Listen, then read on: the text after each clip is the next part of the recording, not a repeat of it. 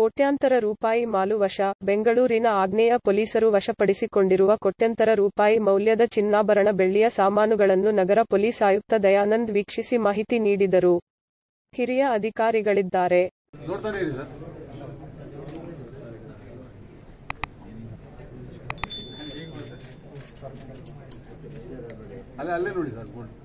ನಮ್ಮ